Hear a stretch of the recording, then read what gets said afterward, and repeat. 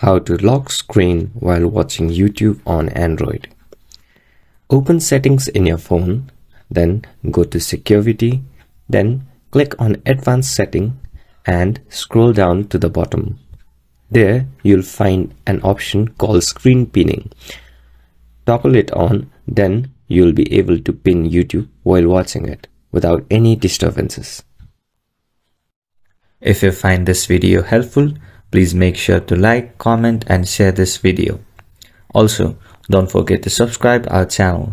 Thank you.